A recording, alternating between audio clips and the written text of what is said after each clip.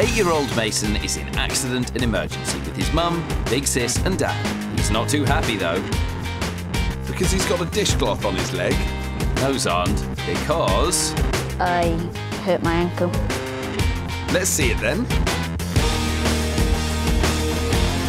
My ankle's like a balloon. And Mason can't bear to look. How did it happen? Check it out.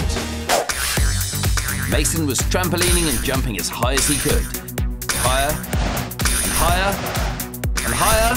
Is that outer space? It gets worse.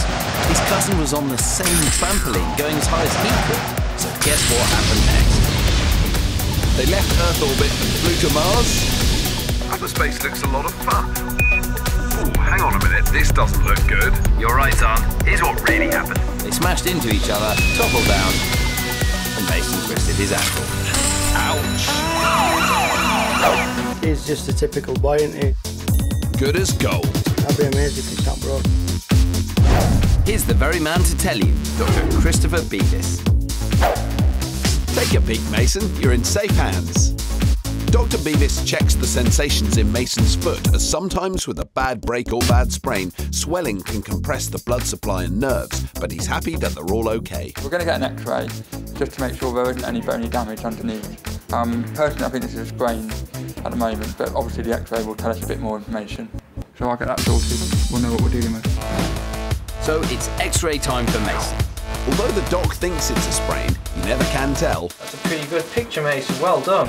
Dr. Beavis is checking the bones in Mason's foot. There's just a small fragment of bone, if you like. It isn't conclusive, but because of the, the symptoms on the side of his ankle, we're going to treat it like it's a clinical fracture. So the doc is treating it like a break. I hope you like the crutches, Mason. I'm kind of hoping I get crutches, so I'll be popular at school. What's he like? So we'll get you back to a fracture clinic in the next day or so. Never mind that. Yeah, what about the crutches?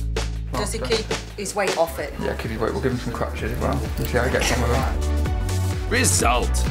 But wait, There's no guarantee you get to take the crutches because if you can't handle the crutches, Oh, we can.